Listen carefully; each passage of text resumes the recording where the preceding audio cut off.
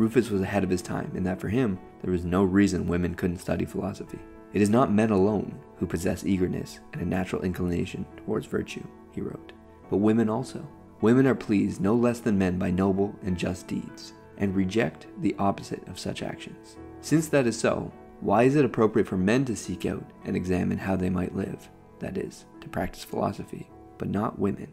This is something that we've seen in our own Practical Philosophy Club.